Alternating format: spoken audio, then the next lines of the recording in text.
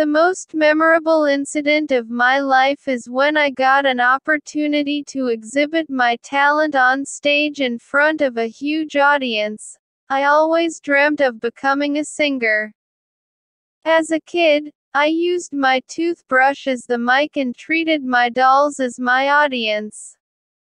I was enrolled in a vocal training course in an eminent singer's singing class and from there, based on my performance I was selected to display my skills at the Zee Sa Ma Pa. Initially, I was a bit nervous, but got over it soon when I heard the tune. My performance was well received and the audience acclaimed me with their applause and kept yelling, once more. The incident made me feel on top of the world. Listening and practice. Now repeat it after me. The most memorable incident of my life is when I got an opportunity to exhibit my talent on stage in front of a huge audience. The most memorable incident of my life is when I got an opportunity to exhibit my talent on stage in front of a huge audience. I always dreamt of becoming a singer. Always dreamt of becoming a singer. As a kid, I used my toothbrush as the mic and treated my dolls as my audience.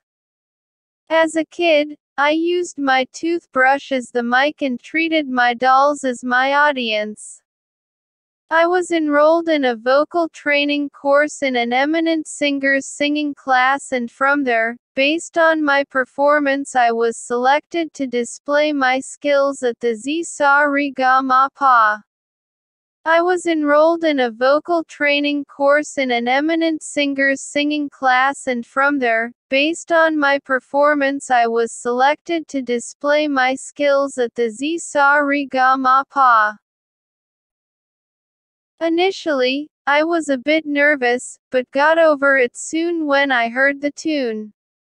Initially, I was a bit nervous, but got over it soon when I heard the tune.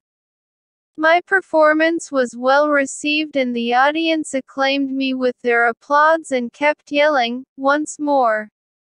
My performance was well received and the audience acclaimed me with their applause and kept yelling, once more. The incident made me feel on top of the world. The incident made me feel on top of the world. Dear listener I hope you learned from this video don't forget to subscribe or thanks for watching.